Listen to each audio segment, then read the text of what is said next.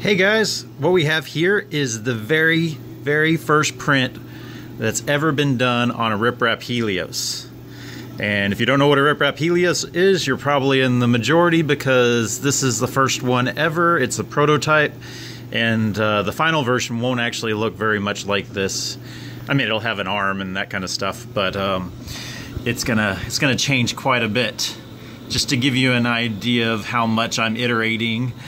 Um, these are just some of the reject parts that I have here. Um, I thought I should answer a few questions, uh, people, things that people would normally ask in the comment section. So um, let's just jump right to it. Uh, probably the probably number one question would be, what's the build volume or build area? So um, I have this um, printer right here, which has a 20 or 200 by 200 millimeter bed, which is about average size. And um, if you buy a 3D printer that's in the mid range, that's about what you're going to get. This one right here has a print volume of five times that, and you could actually build. Um, if you're just if you if you constrict yourself to only square platforms, you can fit at least three of those platforms um, on this uh, around this printer. So super big build volume. And I know some of you guys are going to question like how fast can it go and that kind of stuff. And just remember that this is the very, very first print. Um, I had some design. I had I kind of printed as I went, you know, trying to figure out what works and what doesn't. And these arms you can see are adjustable. All those holes, um, if depending on which ones you pick, I can adjust uh, the arm length by like half millimeters. Um, in the final, uh, the final version, it's going to be a static arm length, so that'll be more rigid, and the top arm will be connected to the bottom arm. Um, same thing here. This one's actually the most floppy arm, and so that's going to um, that's going to get tied together. And one thing you can't really tell is the uh, this top this top um, pulley here drives the top arm, but doesn't drive the bottom arm. It's for just freewheeling, and so this bottom corner right here, if I push it, it's quite uh, squishy. Uh, but the top one's very rigid, so uh, you can imagine a pylon going between the two, between those two gears, and uh, between those two pulleys, and that should really make this a lot more rigid. All right, so speed, I think speed's going to be fine. Um, one thing that's actually limiting me is that this thing is too light. Um, I mean, people are going to say that, oh, that's a massive arm. Look at all that size. And um, if, I mean, if you guys have been printing plastic and you know about infill and that kind of stuff, like you know, these these are very lightweight objects. Um, all the weight's on the outside shell. Um, actually, uh, a little side note: I have a student that made this amazing infill, and um, this is just a, a, section of a sphere that was printed, and it uses a cubic subdivision infill that's in Cura 2.4 and on. And um, what it does is it um, puts all the density at the outside where you need it, and hardly any in the middle, just like you know bones and stuff like that. So all these parts are printed with this type of infill, which saves, I would say, on average, at least 20 to 30 percent on plastic usage. Um, but gets you almost the strength as if it was that density throughout. So, anyways, side note. so, um, anyways, the arm's super light, and why is that bad? Is that this arm has a pretty high frequency for the natural frequ- uh, high natural frequency. So, um, I don't know if I can uh, you can see in the video, but um, as it moves around, you can kind of probably perceive just a little bit of jittering as it's hitting those natural frequencies. So, if I add more mass to the end, I'll actually be able to move faster and those frequencies will be dropped.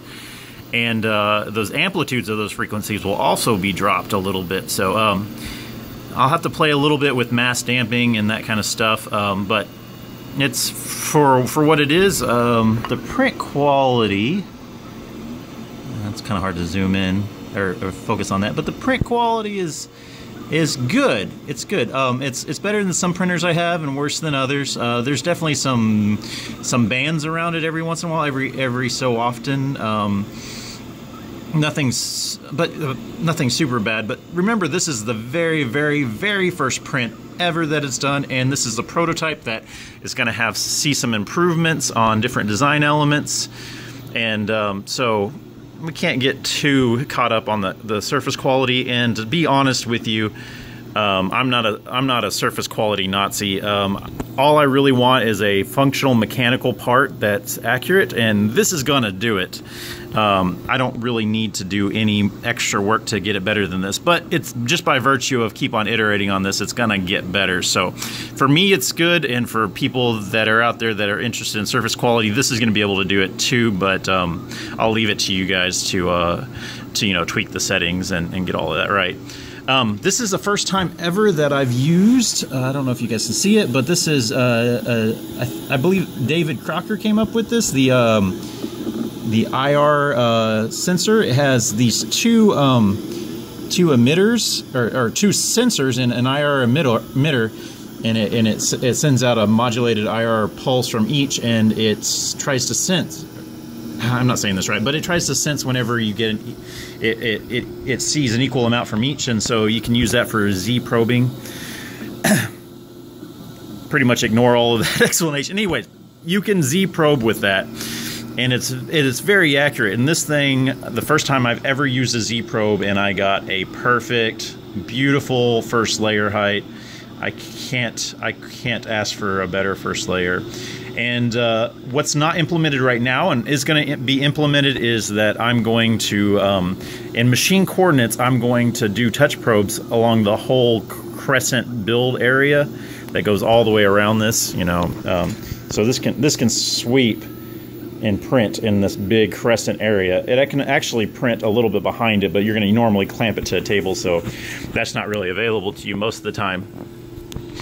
So. Um, somehow you're going to have to be able to print on this unknown surface that you just brought this printer somewhere and you laid it down on a table. There might even be like nicks and like bumps and waves. And so um, this is going to do uh, mesh leveling on the whole build area before it does a print eventually. Or I might like have it specialized to whenever I, I know I'm gonna print in a certain area, I'll have different levels of bed leveling. So if I'm gonna do a super big print, I can do like the whole build uh, area. But if I'm just gonna do something like this, just one probe was actually good enough. Or if it was gonna be like a 150 by 150 print, maybe a, a just you know just uh, on a little area that's right out here in front. So uh, I'll probably have like three different schemes going on, depending on what my needs are. Um, um, but let's see what's other what are some other features.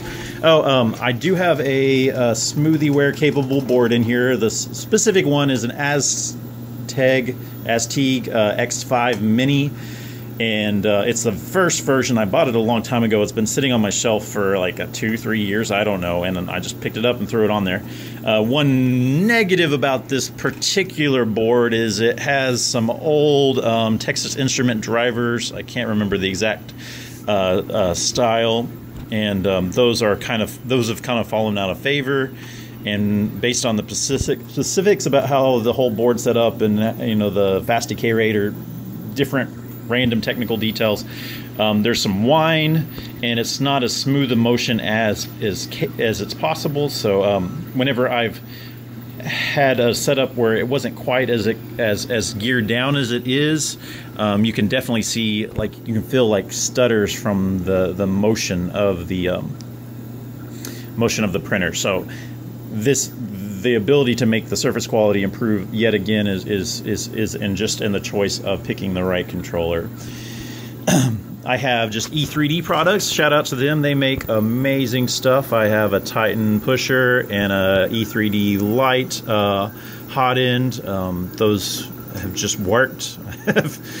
I mean, so I used to like print these things out, and then whenever I was doing my first print, you know, I was, I was trying to debug a printer. You know, it was, is the printer wrong, or is it my uh, my pusher or my hot end? And well, I didn't never print, print a hot end, but um, anyways, having this whole tool chain that I just know works makes makes this a whole lot easier. All right, um, let's see. How much does this cost? Um, this cost on the order of four to six hundred dollars. I don't know exactly. Um, I mean, if you guys want to price it out real quick, um, you have to have four steppers. you have to buy really cheap rails right here. You have to buy a hot end, a pusher, and you have to buy a controller board, and you have to buy an LCD panel. Well, you don't have to have that, but that's it. That's that's a, that's any 3D printer. So um, these belts are cost hardly anything. Um, and they're all the same size, so it's really easy to, to source them. They're all 500 millimeters in circumference. Um, I mean, yeah, there's there's not much to it. Um, there's one like there's two exotic uh, bolts. You know, there's one right here that's like 200 millimeters long, and one right here which is 120 millimeters long or something like that. It's not. Uh, but those those were very reasonable from McMaster-Carr. So super cheap. Everything else is printed. Um, so uh, let me um, go through the design changes that I'm, I'm considering. Um, the the first ones, you know, make all these integrated. Uh, I have all these shields where you can't see what's going on. That's going to kind of come out into the open a little bit more. You're not going to have you're going to be able to see what's going on there to save some plastic. Uh, the same thing here. Uh, this that right that belt right here is actually driven by a pulley that comes from this middle one, and um, I don't actually need to do all that fanciness. So I'm going to be able to simplify all these and slim this up a little bit. So whenever I slim all these uh, pulleys up a little bit, I'll be able to maybe slim these steppers up, just get slimmer ones, and um, all of this can shrink down uh, quite a bit. And then that leaves me with this thing that I can't really change is like if I want to print 100 millimeters, then this arm has to be 100 millimeters off the table so a print can fit underneath it which means that this case has to be fairly big, and so um, I need to I need to fix that. So what I'm going to I'm going to do is I'm probably going to make it half height and then have something that folds out and, and clamp to the table, um, something just big enough to fit the electronics and no bigger. Uh, I don't I want to. Uh, I want to get this a much much smaller because I want this to fit in my backpack. Uh, right now, if I fold it up, which I can't do while it's printing, if I fold it up, it can fit in a 10 by 10 by 10 cube, which is a win, but I think we can do a lot, lot better. Um, another design change is right now you can see that these steppers are, are, are, at a 45, or they're 90 degrees to each other, but they're touch, touching on their edge. Um, I'm going to rotate these where they're just face on face, and they're a, a lot tighter stack. And this these um, these central pylon um, spacers or whatever we want to call those. I'll make that an integrated piece, and then I'll probably put the LCD screen right here, and it'll be on a swivel so I can like angle it up, and you can work with it uh, like a normal human being instead of having to scrunch down and and do it. And I'll just take a moment and bask in that wiring glory. Um, I mean, if you guys have ever been built 3D printers, um, wiring never works out like this, but this one does. It is as good as wiring can get. And whenever I go to the next one and they go face to face, I'll put the wire faces towards the middle so you won't even see a wire on this thing. You will just see the steppers and this nice pylon. In fact, right now the uh, the top plate is actually kind of sitting on top of the steppers. I'm going to actually change it around where it actually kind of cups the steppers and goes down, which will save me yet a little bit more height and so this will this will all kind of look more like uh, just an actual purposeful pillar instead of uh, just these steppers here, which is cool. You'll still see the steppers, um, but um, these things will kind of be like I think I might even go down into the the electronics part a little bit here and, and make a make this cup up into it. So, anyways, we'll we'll just save inch uh, millimeters wherever we can, and so I don't have to have the I don't have to have the uh, LCD screen there. I can have it up here, and I'll be good to go. so that slims out this. Oh, and one of the biggest changes is I'm going to make these pulleys smaller. I think I haven't done the math, so I'm going to do the math and figure out what my actual resolution is. But right now, it's more than good enough, and um, I will I will try to. I can't focus. Okay, there we go. Um, I will try to slim those, make those smaller. Right now they're 150 millimeters in diameter. I'm going to go down to at least 100, if not smaller. And um, some of you guys might be wondering if I will lose my ultimate print resolution. And the answer is maybe I can just do that directly and I'll have good enough resolution. Um, but um, if not, I am thinking about doing um, compound um, belt drives all the way. So, for instance, uh, this one drives from 16 teeth to 235 teeth, and then there are 100 teeth to 100 teeth. So I don't get anything from this um, this belt right here. It just transfers motion, which is beautiful and allows me to have this exact same kinematics as the RepRap Morgan. Well, not the exact same. The Z's kind of coupled in there with it, and it kind of messes up things. But mostly, it's the exact same kinematics as the RepRap Morgan what I'm considering doing is um, I would do something like you know uh, 16 teeth to 100 teeth, and then I would do something like 75 teeth to 125 teeth. Anyways, I would just keep on like stepping it as I go uh, uh, down the chain. I, I, don't know the exact numbers, and uh, so that way I can I can uh, get the same mechanical advantage, but uh, with smaller smaller gears everywhere.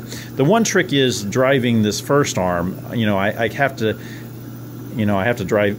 It looks like I have to drive it directly, but what I could actually do is drive an idler, which would drive belts to this uh, shoulder joint and then drive it back. And then if you're a if you're a kinematics um, person or a math person, you'll know that um, th- that design decision to do all of that will make the math pretty fun, pretty horrendous, or, or pretty awesome to do depending on your vantage point. Um, so I I kind of actually look forward to that challenge. Um, now, having all of those belts like chained together, people are going to be like, "Oh, you're going to get lots of backlash and this and that." So, um, as long, I don't, I think I'm going to be okay. Right now, it's, it's, I have pretty long belt chains, and it's pr- pr- producing pretty good quality. Um, and so I think I, I think I, I think I'm be okay. You know, proof will be in the pudding. Um, but uh, right now, I don't have any belt tensioners. If you guys noticed, um, I I just rely on this being the right length. So in the future, whenever I have this arm and there's the central pylon, I'll actually have uh, idlers coming out of the middle that can pull back on the belt, and so I can I can do fine um, tension adjustments with just the turn of an Allen key. Um, and so I should be able to get all the backlash completely out of it. This I can't um, I can't remove the springiness of just having that long of a belt chain, but I think I think I'll be okay. Um, again, I haven't put uh, pencil to paper on that, but you know, just as if this is any evidence, I think we're good. And um, oh, there was one other thing I was trying to mention. Um, oh, um, right now, the way I tension these these these drive pulleys is um, kind of an interesting system where the whole pylon can twist. And if you guys can see that, I have slotted mounts, and so you just you just twist it until you get tension, and then you tighten it down. I'm going to get rid of that. Everything's going to be just like no slotted mount holes. Um, I will actually have just um, just tensioner pulleys with one screw that can like pull them in onto the belt, and so uh, try to make this a lot easier for people to put together and, and to maintain once it's together. So right now the problem with this is um, whenever you tighten those down, the plastic deforms, and so if you ever try to like tension it to a different amount in the future, that's going to be hard. And so so that's not cool. And if I did, even if it was easy to like tension it to a different place, then you have to take off the bottom plate and get the electronics and get your Allen key up in there and, and tighten on those. So um, I'm going to try to um, get rid of that. So try to make everything as simple and square and, and like as easy as possible. Like like this part right here seemed kind of like a weird shape. I'm going to make it square and simple and like I'm going to make it look like it it was obvious you should have done it that way. I don't I don't want anything to look like, oh, that's a super clever trick. I want it to be like, why didn't I think about that whenever people look at this? Um, I mean, just simple things like putting the rails like in line with the arm, like it seems obvious, right? But it took me a while to think about it.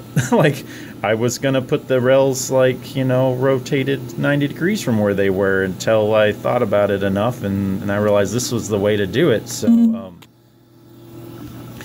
anyways, there you have it. This is the first print from the RepRap Helios. I think it has a bright future, pardon the pun. And uh, I'll let you, I'll leave you guys there. Uh, I'll just give you a little bit of roll at the end of this film of it just printing. So um, thanks for watching.